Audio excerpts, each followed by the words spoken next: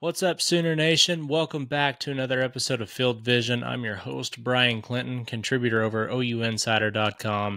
We're breaking down some of the most exciting newcomers for Oklahoma in 2024 as part of the 2024 freshman class that's coming in. And the first guy we're talking about is Eddie Pierre Louis, the offensive lineman out of Florida. And we're looking at one of the most impressive physical specimens that Oklahoma's got on their entire roster. That includes guys like PJ Adebawore. That includes guys like Danny Stutsman. That includes guys like Deion Burks. I think that Eddy Pierre-Louis, pound for pound, might be one of the best athletes that Oklahoma has on their roster. And it doesn't take long watching film to see that. But we're not even going to start with film. We're actually going to start with some of the things that we see from him uh, on the track and uh, when he's lifting weights. Uh, just incredible athlete. I mean, this is a guy that is moving at uh, an incredible speed for uh, being listed at 6'3, 325 pounds. Um, he is running alongside uh, an athlete that is probably a third his size, uh, yet he's moving at about the same rate of speed. And if it doesn't look natural, it's because it's not. There's no way uh, that that I'm a guy that's going to step in front of him if he's on the football field coming at me uh, to set up a block. Uh, maybe that's my mentality. Maybe that's an issue in my mind, but I just don't know that there's very many guys willing to get in front of a load like that. The momentum there uh, is terrifying. I mean, what do you do uh, if you're a defender trying to get in his way?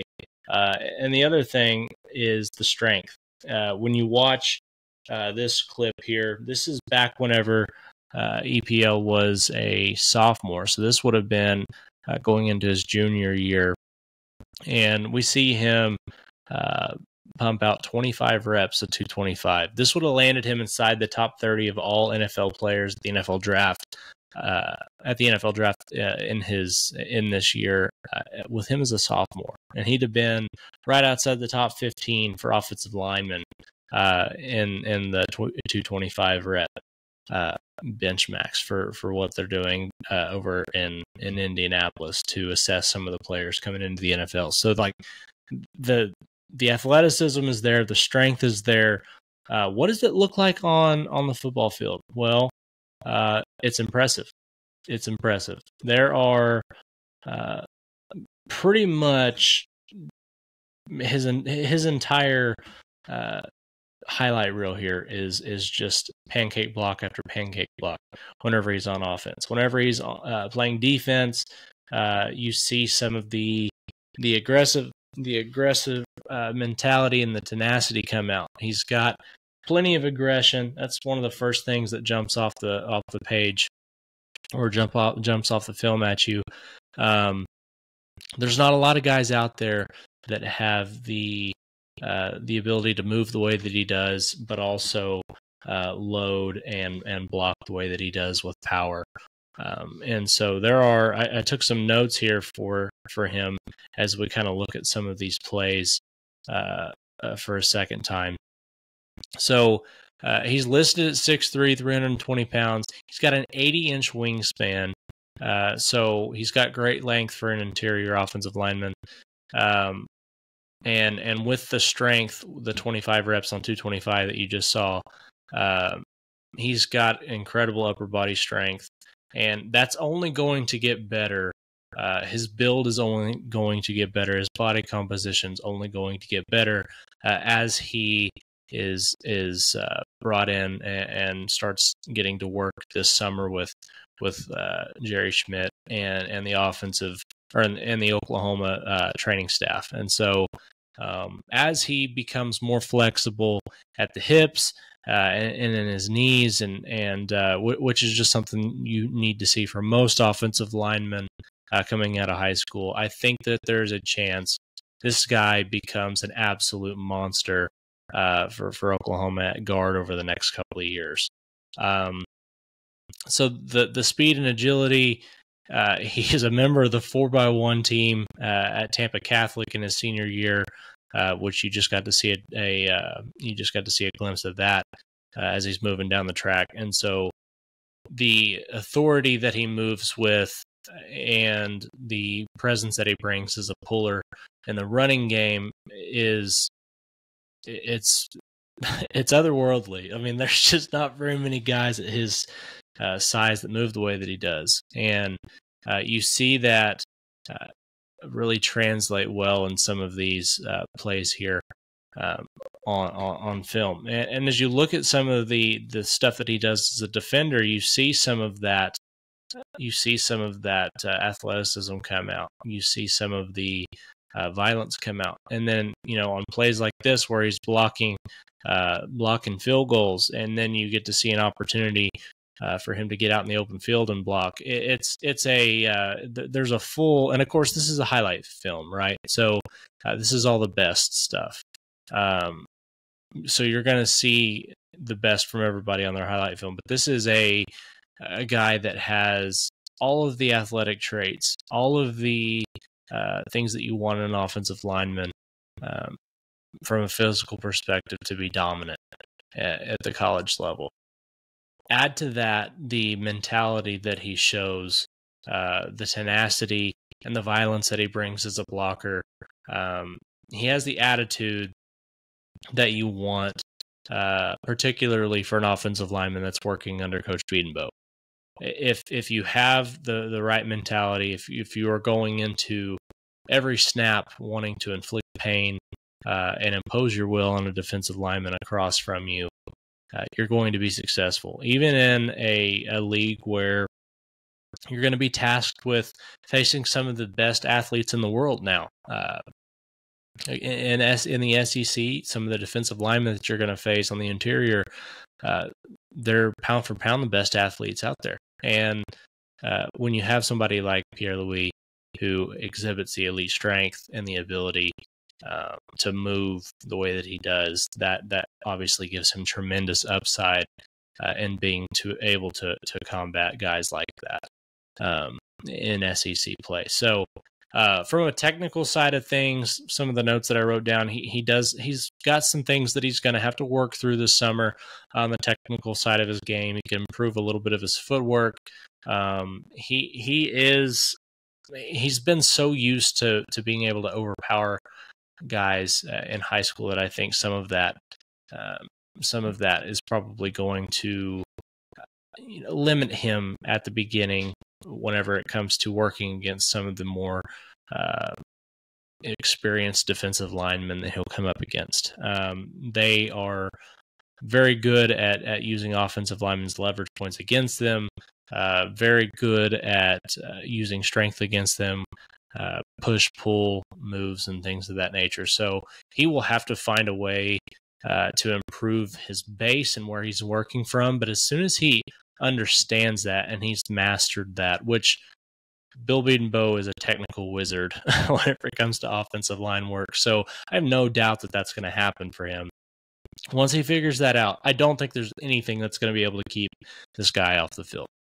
Um, there's just not a lot out there uh, that you could say he doesn't exhibit. He has he has the speed, he has the strength, uh, he has the mindset, and he has the opportunity. Oklahoma needs help on the offensive line, and, and you don't ever want to be in a position where you have to start freshmen.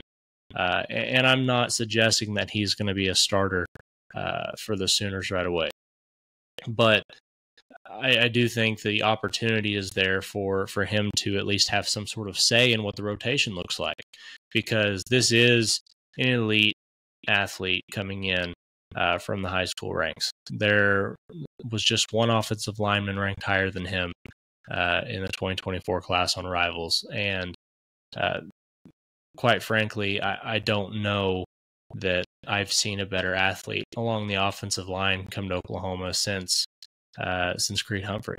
Uh, this is a guy that has all the tools and some of the things that he does have really reminded me of of one player in particular uh, that we've seen at Oklahoma in in the last several years, and that is uh, Cody Ford.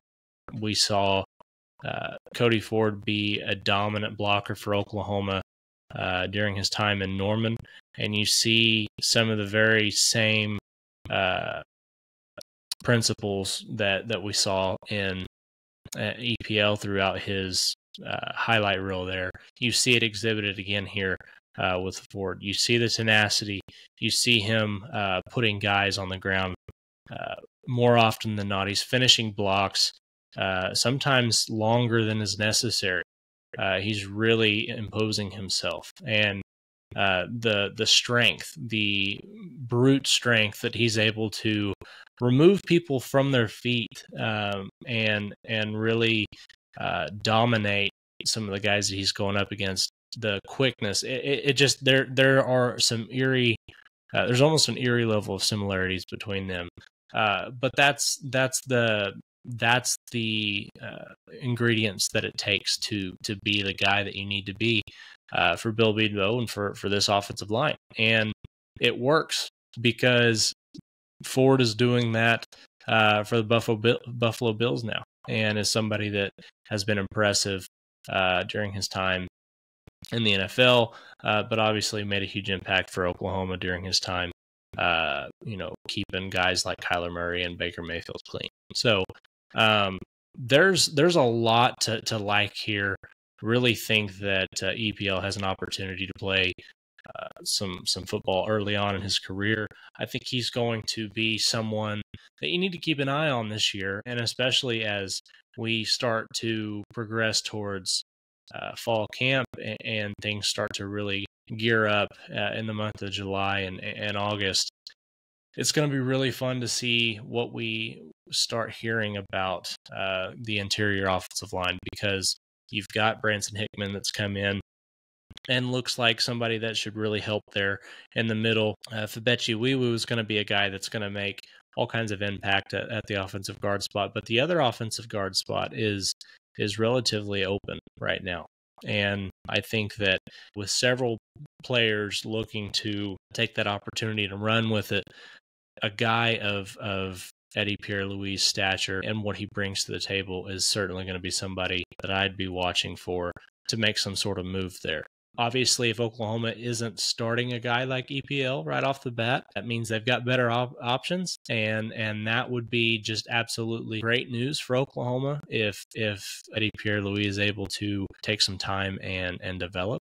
But again, I just don't know how long you're going to be able to keep an athlete like that off the field, especially at a position uh, of need for Oklahoma going into the SEC. So, really like this guy. I think Oklahoma has a gem here in EPL. And before long, you're going to start hearing this name talked about eh, whenever it comes to offensive line in Oklahoma. And you will know pretty much what you need to know about him now with, with what we've covered here in this video. So that's going to do it for us tonight. Thank you guys so much for checking the video out. If you're not subscribed over OU Insider, what are you doing? You've got to get over there and check out uh, what we've got going on. You've got Brandon and Parker covering recruiting better than anybody. Uh, Brody is doing the best job of anyone out there uh, covering OU basketball. Uh, Jesse and myself, we're covering softball. We've got all kinds of stuff coming up for that. And then obviously fall camp and SEC media days and the 2024 season is coming up for Oklahoma football. And we've got all of that covered over on OUinsider.com. So if you're not subscribed there for less than 10 bucks a month, you can get all of that and they're going to just continue to pump out content as we start to turn towards the 2025 and 2026 classes and really focus on those. Brandon and Parker do an awesome job on the recruiting trail. So make sure you're you're checked in over there and and uh, taking full advantage of that. Also, make sure you're subscribed here at the OU Insider YouTube channel. We're going to have more stuff, not just with this series, but with, with several other podcasts. And we've got lots of stuff coming down the pike for you guys. You're going to want to tune in next week. We're talking about another offensive player that's going to make a difference for Oklahoma and his position coach, who is not quick to hand out praise, is speaking pretty highly uh, of him already. And so we'll take a deep dive into another newcomer next week, and you're going to want to tune in for that one. But until then, we'll catch you next time.